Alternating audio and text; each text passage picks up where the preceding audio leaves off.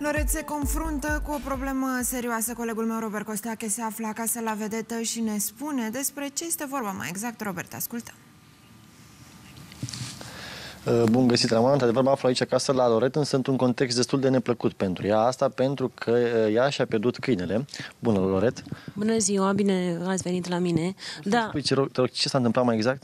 Da, într-adevăr, într-adevăr am pierdut uh, cățelușul, un cățeluș mic bișon, pe care l-am pierdut acum uh, cred că 3-4 săptămâni avem de când îl căutăm și l-am căutat cu fetița, l-am căutat prin cartier, am pus uh, anunț pe Facebook, am întrebat vecinii, m-am trezit la 6 jumate în fiecare dimineață, l-am căutat pe aici prin cartier cu mașina. Deci am făcut tot ce îmi stă în putință până am sunat până și la poliție să mă ajute să-l găsesc. Aseară am primit un mesaj de la o doamnă foarte drăguță pe Facebook în care îmi spune că cățelul meu a fost văzut pe grupul uh, de câini pierduți de aici din Tunari, uh, unde o doamnă a postat poze cu cățelușul meu.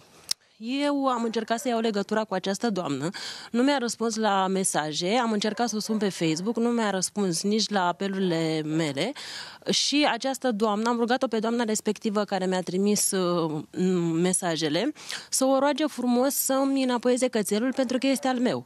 Iar doamna respectivă, am înțeles că stă aici în cartier la noi, a scris, uh, haideți să vă citesc ce, ce a zis eu, să vă citesc de pe Facebook. Uh, doamna îi spune, uh, vă rog frumos să-i dați cățelul înapoi este cățelușul lui Loret. Iar ea spune ce să-i dau înapoi.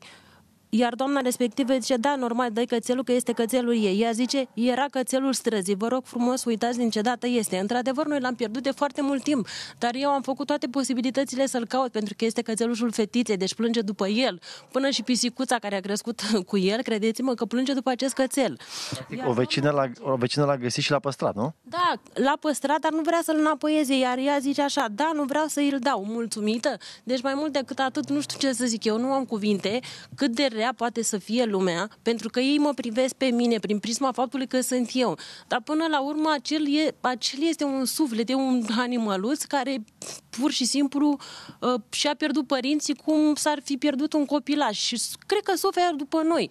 Nu aș vrea decât să ne-l înapoieze sau dacă nu este la ea sau l-a dus undeva, o rugăm frumos să facă în așa fel încât să ne aducă animăluțul înapoi, pentru că nu e vorba de mine aici, până la urmă, că uh, au sărit toți vecinii în capul meu, că l-am lăsat pe stradă, că uh, nu avem grijă de el. Nu este adevărat, pentru că dacă nu aveam grijă de el, uh, nu ne mai luam animăluțe. Adică noi uh, tot timpul am avut animăluțe. Deci am avut un animăluț care a stat cu noi aproape 8, 8 ani de zile.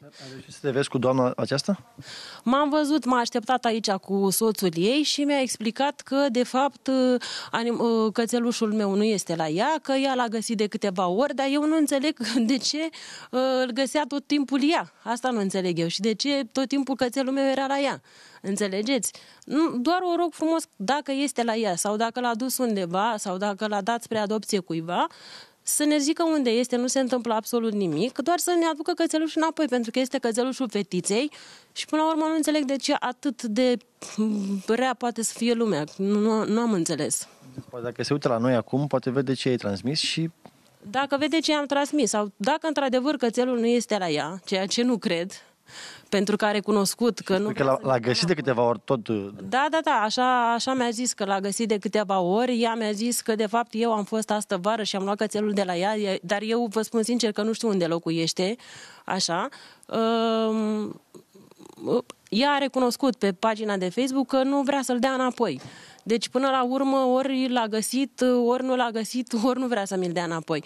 Dar din toate informațiile pe care eu le am, într-adevăr, cățelușul s-ar fi aflat la ea sau cel puțin se află la ea, nu știu exact, doar că nu vrea să mai uh, ni-l dea înapoi. Să sperăm că toate se vor rezolva cu bine și doamna îți va înapoi cățelușul sau se va găsi până la urmă o soluție ca cățelul da, să vină acasă. vreau să transmit un mesaj că până la urmă oamenii au ce au cu mine, pentru că nu înțeleg, chiar nu înțeleg de ce, dar acel e un e un sufletel care s-a pierdut și chiar ne dorim foarte mult să se întoarcă acasă la noi. Și dacă l-a văzut cineva pe undeva sau îl are cineva, e un cățeluș mic bișon, răspunde la numele de Chanel și vă rugăm frumos, dacă aveți bunăvoința sau inimă sau iubiți animalele, să ne-l dați înapoi. Vă rugăm mult de tot. Îți mulțumim mult, Loret, și ne întoarcem, ne întoarcem la tine, Ramona.